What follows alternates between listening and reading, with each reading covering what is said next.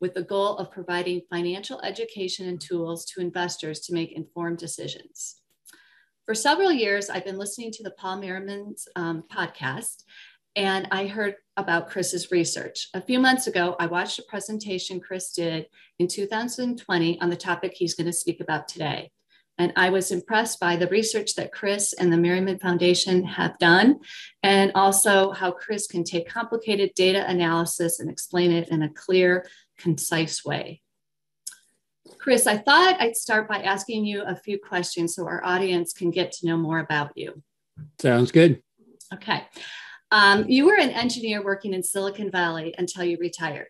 How did you meet Paul Merriman and how did you get involved with the Merriman Foundation? Well, I, I, was an engineer in Silicon Valley, and I was, uh, you, you, know, how you get that kind of spidey sense that maybe a change is coming and maybe retirement is coming. I kind of thought that was what was in my near future. And I knew that that meant I needed to become a better investor. So I started listening to podcasts, reading lots of books. And I was like you, I was impressed with the work that Paul did. He, he just didn't have any conflict of interest. He was motivated by one thing to help people and so I thought, well, if I could reach out to him, maybe I could volunteer. That was something my mom always did. She volunteered to work with all kinds of impressive people. And and to my surprise, Paul said yes. He said, I've got some cool projects. You know, would you want to work? And it was like, great. So I, I started working with him and uh, that gave me access to a huge amount of data and research and perspective and and more than anything the opportunity to try to teach things I was learning because you always learn better when you try to teach. Um, so that was that was how I got started. I mean, it was really just a phone call. Okay, great. And can you tell us a little bit more as director of research about you know the research and the work that you do at the Merriman Foundation? Yeah, we you know we try to essentially become time travelers. Uh, we have return sequences that go back to anything from the 1990s to about 1928. And sometimes there are gaps in those return sequences that we have to fill in. So we get, you know, we we do the very best we can, leveraging all the various data sources we can find to do that. And then when we have those those return sequences for different asset classes going back into the past, we think about interesting investor questions like you know does it make sense to rebalance more or less frequently? Does it make sense to uh, just invest in the s&p 500 or diversify more broadly? And we had up until i joined the organization all of our work was with fixed allocations but i wanted to do some work with target date funds which have time varying allocations. So a lot of what i do is building back testers um, that will take a time varying asset allocation across a lifetime and a number of assumptions about how somebody's cash flows look and figure out how it would have performed in the past there's no guarantee the future will be like the past but we have no way to know what the future would be at all unless we and we base, base it on something in the past is the best predictor we've got. So uh, it's fun. We we work with a lot of really interesting questions, and we get a lot of interest. I'm hoping to get some interesting questions at the end of the presentation today, and I I learn as much from those as I do from the work I do with Paul. Okay, great. Well, now that we know a little bit about you and your background, um, I'm going to turn it over to you. So okay. Go ahead and start. Let me see if we can get this sharing set up right. Uh,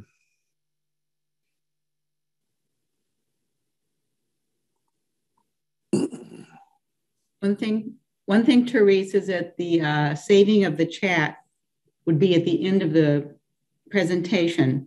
If they save yeah, it now. Seeing, are you seeing the presenter view or are you seeing the presentation? I see. We're seeing the presentation. Okay. Excellent. Okay. So uh, I, man, I can't believe it's been two years since I first did this presentation, and I hope that this new version can live up to the kind introduction Therese gave me. When we did this two years ago, one of the criticisms I got was that our analysis only went back to 1970. So today I'm going to be doing some analyses that go back to 1970, but we're going to extend where we can back to 1928. And that'll give us a, a scarier picture because it includes the Great Depression, but it'll also give us a more realistic picture because uh, from 1970 until now was a relatively strong market for bonds. And by going back to 1928, um, we'll include the good news, the bad news, and everything in between. And I think it'll give us more confidence about the conclusions. So, we're going to talk about simple and effective balanced lifetime portfolios. And before we get started, because I'm talking to Bogleheads, I have to mention the three best pieces of advice that I remember hearing Jack uh, advocate. One was buy right, the second one was hold tight, and the third was don't peek. And I think in many respects, if you had to just give somebody six words, those are a wonderful set of six words for investing. Uh, the focus of today's presentation is mostly going to be on buy right, and I know that for for Jack Bogle, buy right meant the S&P 500 or a total market fund. Um, and I really don't have anything against that. I think it's fine. I think it's great advice. And I think for people who aren't willing to learn more about investing and aren't willing to study it a little bit, it's probably the right place to stop. And that's probably why Jack stopped there. I think if you do have an appetite to learn more, though, there are other opportunities for meaningful dis- diversification that, at least historically, have had really significant advantages. So let's talk about what some of those are. Uh, when we talk about simple balanced portfolios, the reason I'm excited about it is that they give us an ability to control the return risk trade off that we're going to get, and sometimes even improve the return per unit of risk that we're taking. Um, they give us the ability to have higher safe withdrawal rates or higher survival rates sometimes in retirement. At least that's what the history says. And they're easier to manage than 20 stocks or 50 funds, or, you know, there's a lot of complex ways to get to the same place but why be complex if you don't need to be? So we'll talk about the simple paths and then we'll talk about the trade offs that we give up for that simplicity. What we'll cover today are, first of all, what balanced portfolios are. Second of all, um, what we can do with a few funds in a fixed allocation. And then third, what we can do with a few funds in a time varying allocation, like a target date fund. And we'll in each case, look at how they differ during accumulation and during retirement, because those are dramatically different phases of life and they, they have different priorities. And finally, we'll talk about what we give up by being simple and hopefully have time for question and answer. So, balanced, let's just start with the word. What does balanced mean? Most of us have ridden a bicycle, so you know about left and right and staying balanced. And and so, one definition is an even distribution of weight, enabling someone or something to remain upright and steady. A second definition, which starts to get closer to what we're going to talk about today, is a condition in which different elements are equal or in the correct proportions. And then the third and most specific to investing would be an investment strategy which balances risk and return by combining different assets, such as stocks and bonds. And we'll look at all of those, but let's start just to kind of get our minds going. Let's start out of category. Let's start with something I'm very passionate about, perhaps even more than investing food. So, balanced flavors. Uh, if you were to start thinking about trying to be a great chef, you'd probably have on your mind the idea that you need to balance flavors. And you would probably think of the world, at least I do, like like this. You know there's tens of thousands of ingredients. There's you know tomatoes and chickpeas and onions and steak and cereal. How do i balance them all? And the good news is that uh, through science over the course of the last hundred years chefs have come to realize that there are six underlying key attributes and that foods kind of cluster in these key attributes. And those are spicy, sour, sweet, salty, umami, and bitter. And that some of these attributes balance one another and some of them complement one another.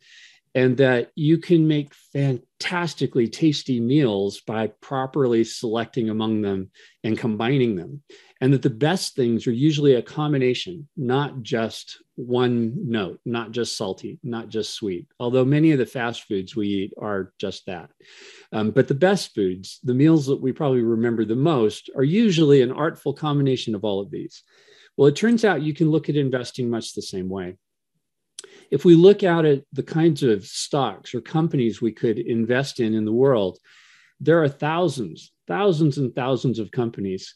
And trying to figure out how you would choose among them and why you would choose certain ones over other ones and which ones might complement one another or which ones might balance one another is a very difficult task. But fortunately for us, academics have done an exercise much like the food scientists did and have figured out that there are key attributes both in the fixed income or bond space and in the equity or stock space. So, in the fixed income or bond space, there are basically two attributes that really matter. One is the length of the bond or the term. Um, and you, you, know, you can imagine if you are going to, if you think of the bond as a loan, if somebody's going to loan you money uh, or you're going to loan somebody money and buy a bond for one year, uh, you would probably accept a smaller return or interest rate than if you loaned the money for 20 years, because who knows what's going to happen with inflation over 20 years. So the longer the term, or the, the longer the duration of the bond, the more you're going to ask for in terms of a return in interest, and, and you're likely going to get it. Credit's a similar kind of thing. If you loan the federal government in the United States money, they can print money and give it back to you. You're going to get paid back the money may not be worth quite as much, but they could do that. Uh, if you loan money to a fly by night business that's on the verge of bankruptcy, you're going to ask extortionist rates and you might get it. And so in bonds, these two attributes, term and credit, pretty much define about 98 to 99% of the return experience you're going to get in terms of the volatility and the compound annual growth rates. In stocks, or equities, there are five attributes that the academics have found and generally agree upon. The first is market risk, and that's the idea that by investing in the stock market, you're going to see the value of your money or your investment go up and down as all kinds of unknowns come to pass. You know, earnings go up and down, the economy changes, uh, there's geopolitical news and so you're going to expect to be compensated for that. And historically if you invested in the s&p 500 or a total, total market fund you were you were compensated for that. You got a return of between you know 6 6% real and 10% uh, com, uh, nominal uh, or you know so you get a return. The second one is size.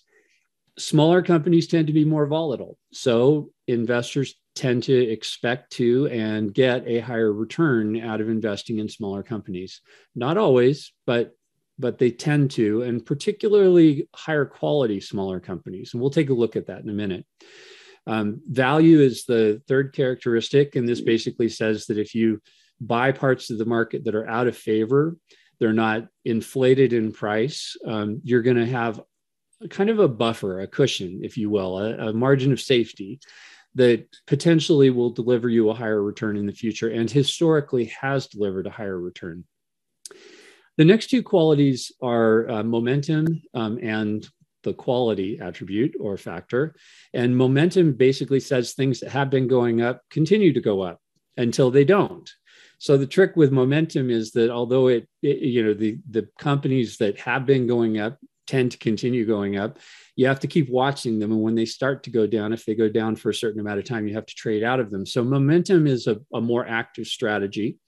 And then quality says companies that have better financials or better moats to defend against competition do better. So this is all kind of airy fairy and fuzzy, but the key takeaway, if you back up to the 10,000 foot view, is that in the same way that there are these attributes that drive a tasty meal, there are a handful of attributes that drive a high performance portfolio. And we're going to look at how they have actually done in the past and how they performed. But before we do that, let's look briefly at how available they are. So, if we're looking for market risk, there are literally thousands of US stocks or funds that give us access to market risk. And what I've defined as meaningful access is greater than 30% of the premium that the academics have discovered. So, uh, pretty much every stock fund you could invest in, whether it's a mutual fund or an ETF, is going to give you exposure to the market risk um, that we just talked about. The size risk is available in a thousand plus funds the value risk is available in about a thousand funds.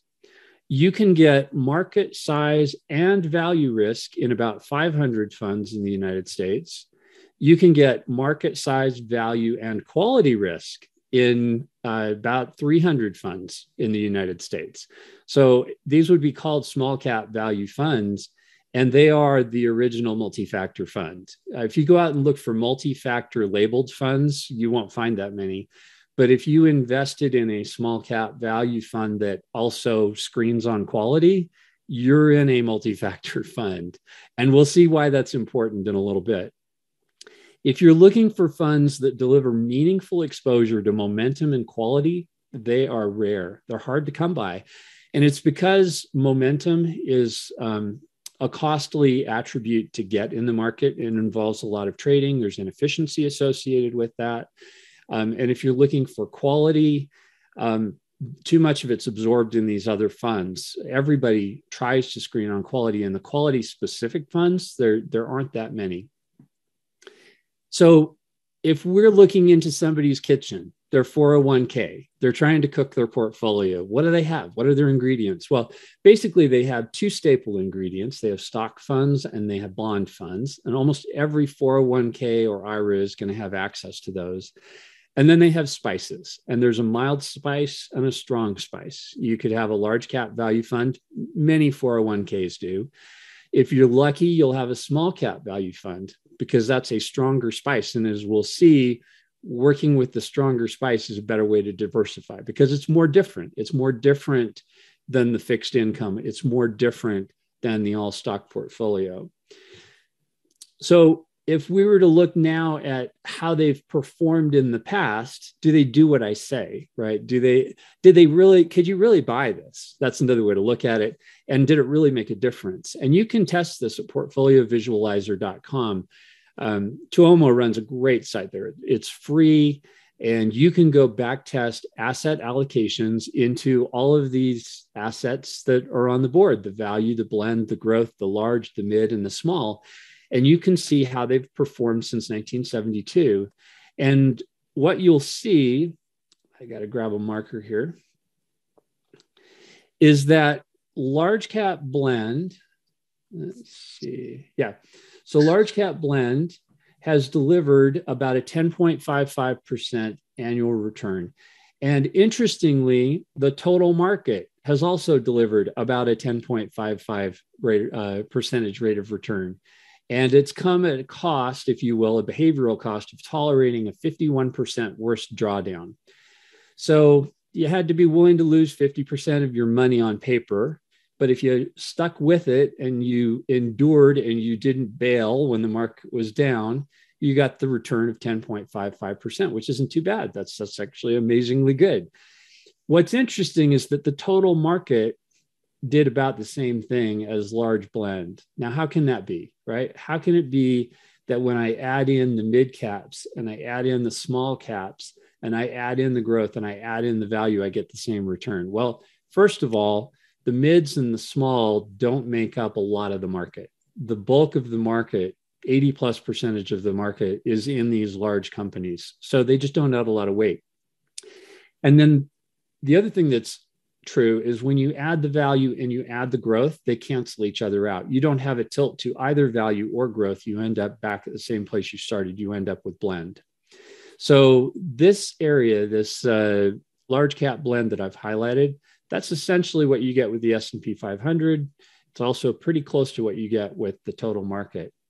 Now, I said we have two spices we can spice things up with. If you come over here to large cap value, you can see you get about six tenths of a percent higher rate of return with a little bit higher volatility, about 4% more worse or worse drawdown that you had to tolerate. That's a The drawdown is how much your balance declined from its peak or how much the account got smaller from its peak before it turned around and started coming back up.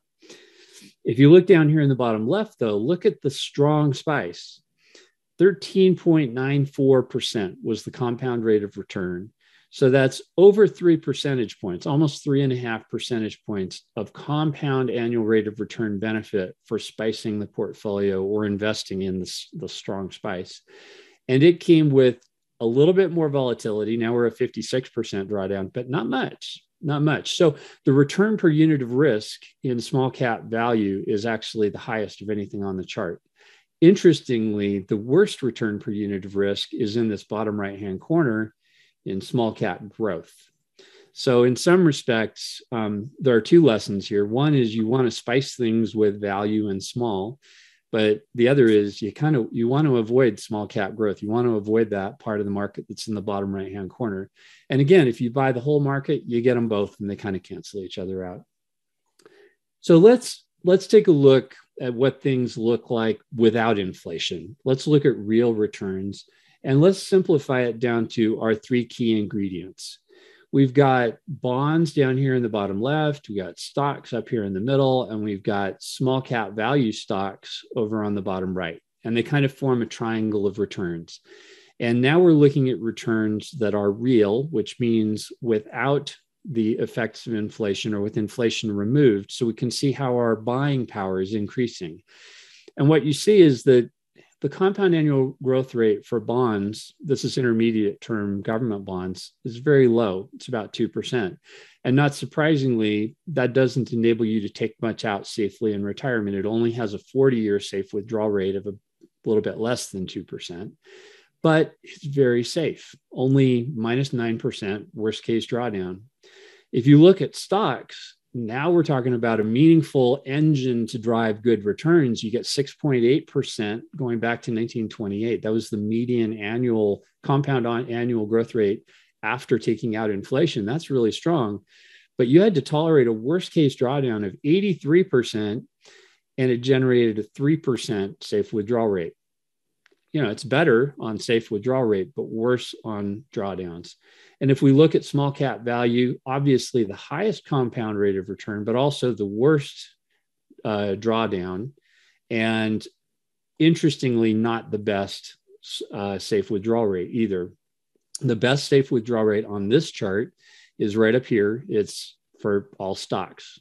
So does that mean we should just be all stocks in retirement? Well, we haven't looked at what happens when you combine these. Let's take a look at the combinations. So if we look at the middle of each side, so that would be a 50-50 combination of uh, stocks and bonds, or a 50 50 combination of stocks and small cap value, or a 50 50 combination of bonds and small cap value.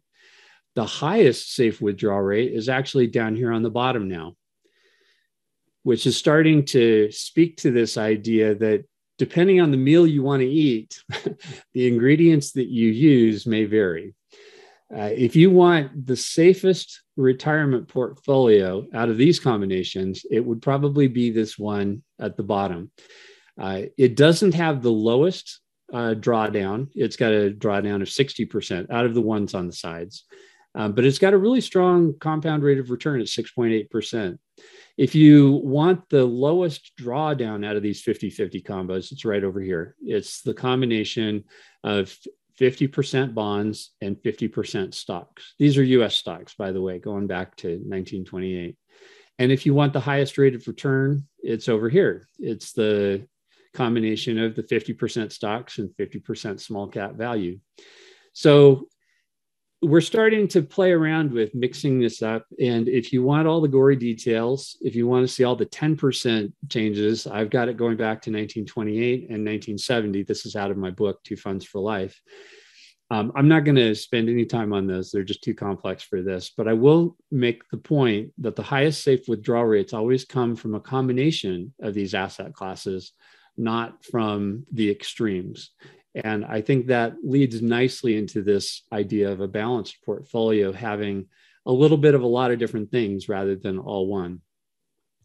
So, some of you, if you're still with me, are probably thinking, but I don't want to cook, right? I don't want to be combining all these ingredients. Just give me the fast food meal or give me the microwave dinner. And we can do that. We can talk about some microwave dinners, some really easy ways to get things done. And in fact, most of the rest of the presentation, we'll talk about that. And there are two categories that I think are really interesting. The first is a set of funds called balanced funds. You can get them from Vanguard in their life strategy funds. You can get them from a lot of other providers as well.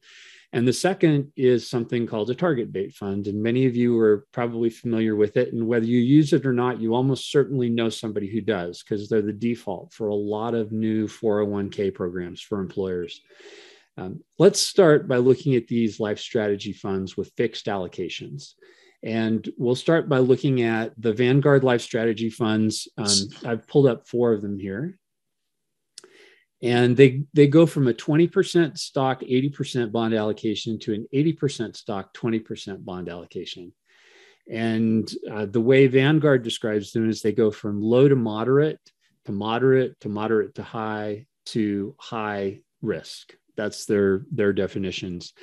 Uh, they're all a balance that tilts a little bit more towards the us like 60% us 40% international but we can run the back tests and see how they did historically.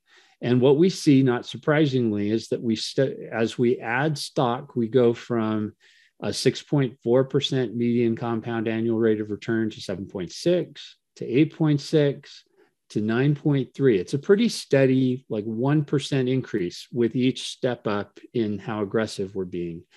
But look what happened to the drawdown risk you had to take a lot more risk or tolerate a lot more volatility to get it. This 2080 fund had a 20% worst case drawdown. That's not bad. The 4060, even though it only gives you 1% higher compound annual rate of return, had almost twice the drawdown risk. And the 6040 was 54%, and the 8020 was 66%. So these higher returns accumulate over time, but somewhere along the way, you're going to have to have conviction to tolerate a much bumpier ride to get it. Now, these numbers go back to 1928. If I went back to 1970, they'd be maybe two thirds the size. So your ride may not be that bad, but it's nice to know it could be, right? Just so that you're ready and ready to stick with whatever investment it is you, you pick. We can also look inside these portfolios and see which of those key attributes they're firing on. And all of these funds fire only on three. They fire on the market risk, the term risk, and the credit risk. That's it, just three. Uh, we can also look and see what their safe withdrawal rates are. And kind of interesting, um, if we look at the safe withdrawal rates, they increase across the board. The highest is over here with the portfolio that has the bumpiest ride, it has the biggest drawdowns, but it also has the highest safe withdrawal rate. So I think the key takeaway here for a retiree is that it, it, makes sense to keep your equity engine alive. Don't get too conservative in retirement, especially if you need a higher withdrawal rate, because um, having a portfolio that can't withstand whatever withdrawal rate you need increases your w- risk of running out of money or falling on you know a bad sequence of returns that basically put you out of business. So um, that was a set of things you can do with one fund. All of those are just one fund but they all fire on only three of these attributes. What would happen if we brought in some more of the attributes if we spiced it up a little bit? Well why would we want to spice it up if you go and take a look at uh, Andrew Berkin and Larry Swedroe's excellent book, Your Complete Guide to Factor Based Investing, what is, one of the really interesting things you'll learn is that factors tend to show up at different times in the market. So that means that when one's going up, the other one might be going down, or when one's going up a lot, the other one might be going up a little. And we kind of knew intuitively when you combine things that zig and zag at different times, you have the potential to smooth the ride. And a fact, a multi-factor portfolio or one that fires on more of these attributes tends to disappoint less often. And you can see that over here on the right. A market only fund, that would be like a total market or S&P 500 fund, at five years has about an 18% chance of not delivering the return that you expect. In contrast, at five years, A fund that has exposure to market size, value, and momentum has about a 5% chance of underperforming. So the difference there is pretty dramatic. You're talking about uh, a factor of three increase in the likelihood that you're going to get the return that you expect. I think most of us would like that. We'd kind of like to have more predictable performance. So let's take those two two of the two funds we looked at or the four funds we looked at earlier let's look at the vanguard life strategy 6040 and the vanguard life strategy 8020 we've already analyzed those. And let's slide something in between. A 60% stock for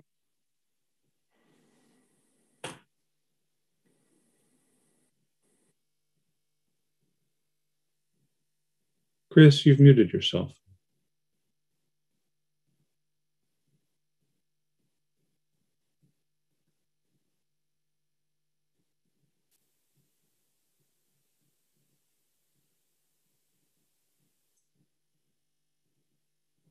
How long have I been muted? You muted uh, right about when you first started with the 6040 Vanguard Life Strategy Fund and you added your spices. Excellent. Okay. Well, thank you for telling me. Sorry, I'm, I have no idea how that happened, but I'm glad we're back.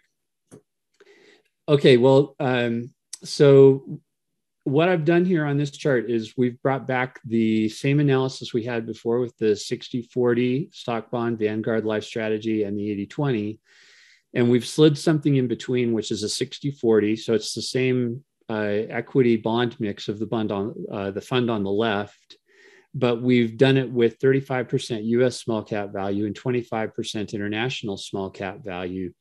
And the interesting thing is that we get a much higher compound annual rate of return than we do with the other 60 40 not surprisingly, I guess, we took more risk, right? We added in this volatile class, our spicy mix of small cap value. But the drawdown, the worst case drawdown, only went up by 5%. So our return per unit of risk is much higher. And interestingly, our return is also higher than the 80 20 would have been had we just gone with the Vanguard fund. And our drawdown is better than the 80 20 would have been. And why is that? It's because of this diversification down here. We have far more working for us. We have the market exposure, we have the term and the credit exposure, but we also have value and size working for us. So it's a, a, a multi factor kind of approach, even though we're just doing it with small cap value and total bond funds. Um, the safe withdrawal rates also went up. The highest safe withdrawal rates are with this it seems like kind of an extreme allocation because it's heavy on small cap value. Would I recommend that a retiree invest in this portfolio? No, but as a teaching moment, I think I, I would point out that it might benefit them to have some in small cap value uh, because it's going to improve their return per unit of risk and it's going to improve, improve their resiliency in retirement. So with that, that's that's kind of our fixed um, that's our fixed allocations. Let's take a look at time varying allocations. And to set this up, first of all, we have to think about well, why do we change our asset allocations over time? Why would we not just have the same asset allocation our whole lifetime? And some people do. Uh, some people have the temperament to be stocks their entire life. And uh, that may work fine for them. But it's not in line with what most people would describe uh, um, as our risk capacity as we go through life. I think a stock allocation that's 100% through life works primarily for somebody who's an oversaver and who has incredible behavioral skills as an investor, the ability to ignore the ups and downs of the market. But for most of us, uh, especially those of us who are going to be just enough savers, it's really important to understand that our risk profile changes with time. When we're young, when we're over here in this early part of the chart on the left hand side around age 25, if we lost our whole net worth, we've still got a lifetime to work to earn it back. We have 40 years probably of career for earning and letting uh, not just our work earn us money, but letting the market earn us money as well through compounding halfway through our career we've got a lot less and when we're nearing 65 we're nearly done you know most of us are not going to be able to work another 20 or 30 years at age 65, let alone want to. Um, and so our risk capacity is declining with time, and our ability to have the market work for us is declining with time. It's only natural then that our portfolio risk would also decline with time. And the industry, taking this into account, has invented this amazing tool called a target date fund. You can get them from Vanguard now for uh, 0.08%. So, eight basis points gets you effectively a robo advisor. And what it does, um, we'll talk about Vanguard specifically, but what they do in general in the market is they follow a path of decreasing allocation to equities and increasing allocation to bonds. And that's called a glide path. So this is an example of the industry average target date glide path on the right hand side. And you can see that the equities are declining over time and the bonds are increasing over time. And they do that not just to retirement, but through retirement. And if we looked at the Vanguard glide path, you can see it on the right here. You can see that they start um, they start ramping down about uh, 40 years before retirement and they ramp through to about seven years after retirement. And their early allocation is about 90% equities. And the way you use these, and the way a lot of new investors are defaulted into them, in fact, is is by year. So if I was a new employee at a company, uh, I'd probably get an email that said, "We're going to invest three percent of your paycheck automatically into the." If I'm 25 years old and I've got 40 years to work, the 20 maybe it's the 2065 target date fund. And if I do nothing, that's what happens. I can increase it, I can change it, but uh, a huge amount of today's assets in 401ks uh, are in target date funds. And the question is, is that good? Is it good? And I, I think it's not good. It's, I think it's wonderful. And the reason I think it's wonderful is that if we were to look at a lifetime investor who, on first chance, when they uh, are faced with this 401k decision, says, I'm going to put 10% of my income into the target date fund and they do that for 40 years of working. And then at the end of those 40 years, decide to take 4% out the first year and increase with inflation for 30 years of retirement. That 10% that they invested will turn into uh, a pile of money that is much, much bigger than well not much much bigger but about the same size to a little bit bigger than everything they earned in real dollars. This is this is after adjusting for inflation in real dollars. Um, and they'll have about half of it to spend in retirement and half of it as legacy. So just pause and think about that for a moment. This single investment one tool that you can automate and put in the background for your entire lifetime can double the amount of spending power you have I, I think it's just magical. It's an incredible tool.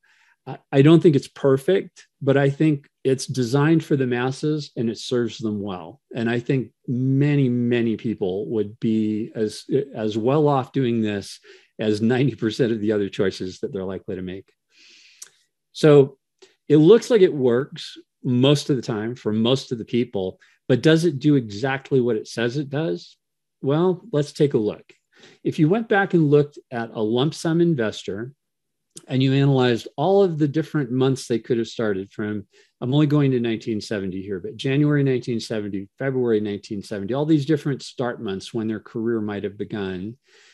And you look at the worst case drawdown that might have been experienced across all of those lifetimes, you get this line down here at the bottom that goes across and it shows that their worst risk exposure is in these early years from age 27, 28, something like that, through about age 40. And then it declines all the way out to retirement. It looks like it's doing exactly what it's supposed to do, but there's a problem. And the problem is that it's based on a lump sum investment. Almost no one starts with a lump sum investment saving for retirement. We generally start with practically nothing and contribute monthly. So, what happens if we do monthly contributions? Well, now we get a totally different picture.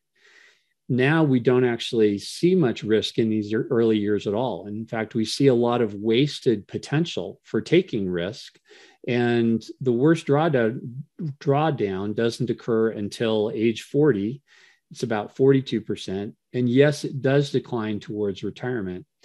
And why is that? How could that be? Why, why, what's, what's going on here? Some of you probably know. Um, what's going on is contributions and, and by the way, I've taken these drawdown numbers just before the next contribution. So they're worst case. But if you ask a young investor when the market's down how bad their investments have done, almost none of them have run an IRR calculation and can tell you. They just look at their balance and say, well, it's bigger than it was last year. It doesn't look too bad to me. Um, and people who advise young investors actually see that. And if you don't believe me, we can actually look at a back test here. I chose a volatile asset class. This is small cap value. We started in 1970.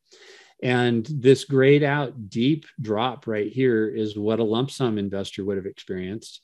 And these shallow dips up here are what the dollar cost averaging or the annual contribution investor experience, Much, much shallower drawdowns. And it's because they've got these regular contributions. So, with that in mind, knowing that there's a little more room for risk, we'll analyze this the uh, target date fund, but let's also look at some simple ways we could spice it up. And um, these are three strategies that come out of our two funds for life book. One is easy, and this is simply a 90 10 allocation 90% to the target date fund, 10% to small cap value. And it's not rebalanced uh, during the early years and then it uh, is uh, nudge withdrawals in the retirement years. Now, what do I mean by nudge withdrawals? I just mean you take your whole withdrawal out of which whichever fund is too big. So you've got a 90 10 allocation. If the target date fund is 11%, you take your 4% withdrawal from that. Um, if the uh, target date fund is at 91%, you take the withdrawal from that.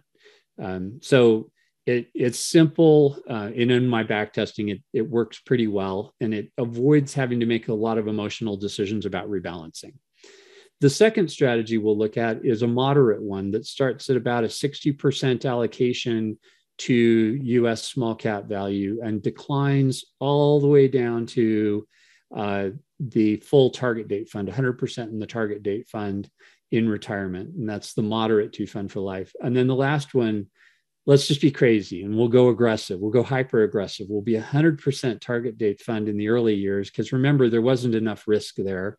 So let's see if this just pushes us over the edge. Um, and we'll ramp that down to 20% in retirement because it might improve the safe withdrawal rates in retirement. And let's see how those did. So if we if we take a look at it, uh, what we see is that the target date fund is uh, these are the 1928 numbers it's going to potentially make you tolerate a 65% drawdown, but it's going to give you a very solid 8.5% rate of return for that. And um, it's going to have the diversification we expect just credit, term, and market. This easy strategy gives you about an extra 1% in return, slight increase in the drawdown, little bit of a bump in the drawdown towards retirement. That's not ideal but a much more diversified uh, portfolio down here uh, in terms of the, the attributes the portfolio is firing on. And then the moderate one, the moderate two fund for life, is about the same return, but it tames the risk out here by retirement. So this is lower and it brings some of that risk into the early years. And interestingly, it's not as diversified. Why is it not as diversified? I mean, we've got that 100% allocation to small in value in the early years. Well, the reason it's not as well diversified is there aren't as many dollars in those early years. So even though it sounds extreme to pull the, the asset allocation up in the early years, you're not taking a risk with a huge amount of dollars. So it doesn't tilt it that much. And then the most aggressive one over here, obviously the highest return um, comes with the highest risk, but the highest amount of diversification. And I think I think that this is intriguing, but if I was a young person, what I'd really want to know is how did they do at multiplying my buying power? what's my real dollar benefit from doing this? And to do that, we need to calculate what I call a real dollar multiplier. And the way we'll do that is we will remove inflation to get the real future balances and the real contributions. And we will divide the real balance that we have at 40 years, that's the inflation adjusted, you know, uh, real purchasing power by the total real contributions that we've made. And when we do that, we get a really interesting set of numbers down here at the bottom. Every single one of these strategies did better than double your purchasing power across a 40 year period of accumulation across all of the time frames that we looked at. That was the worst. They all did better than double. The place where they really differ is in upside. The target date fund gives you about a an upside, the best case scenario of multiplying your purchasing power by about five and a half. The easy two funds for life is a little more than seven. The moderate two funds for life was almost eight. And the aggressive strategy was about 14. So the averages are between the two, and the medians or the expected values are between the two. So each of these strategies, as it takes more risk, is likely leading to you having more purchasing power later in life, which I think is powerful. So that covered accumulation, but what about what about retirement? Um, to do retirement, we're going to use a different multiplier. We're going to look at the nest egg multiplier, which is the real withdrawals plus the real end balance divided by the initial nest egg. So that's all the money you get to spend in retirement plus pass on to heirs divided by the initial nest egg. And what we see here is um, that again, there's this growing kind of increase between, by the way, I've combined the target date fund and moderate in this column because they're the same thing. They're all 100% target date fund in retirement. So that's about a 7.2 CAGR. The easy one is about a 7.7 CAGR. The aggressive is about 8.7. And because the aggressive is tilting us more towards the US, I added another aggressive over here that includes a mix of US and international small cap value. And it performed a little bit more poorly, but is better balanced in terms of its geography. The scary part, though, most of you who are watching have probably already picked up on it, is that these ran out of money in retirement. Now, this is a 40 year retirement, so it's a long time of 4% withdrawals they all at some point from 1928 to 2021 on one of those scenarios ran out of money. But what's more meaningful is probably their survival rates. And that's right here. Um, and they all did pretty well. So the target date fund had a 99% survival rate for 30 years and an 88% survival rate for 40 years. Um, as we go across the chart, they get better. Um, the easy two fund for life was 97% roughly uh, in terms of the 40 year safe withdrawal rate, uh, or I mean, survival rate. And uh, the aggressives both had practically 100%. And uh, down at the bottom, if we look at their safe withdrawal rates, the best safe withdrawal rates, actually the aggressive strategy. So again, as a retiree, I would encourage you to hold some small cap value because it's going to boost the resilience of your portfolio. And the multipliers are down here at the bottom. The worst 1.1 is for the target date fund, but they're all about the same 1.1, 1.2. And the upside benefit just comes with more tilt towards the more volatile assets of small in value. So, um, the final uh, topic what do we give up by being simple? Well, I've analyzed a very complicated Merriman target date portfolio using 13 asset classes. Um, that's over on the right, and a two fund for life aggressive strategy. And the answer is not much. Um, the two fund for life aggressive actually had the higher return, very slight. I'd say that they're, for all intents and purposes, they're the same.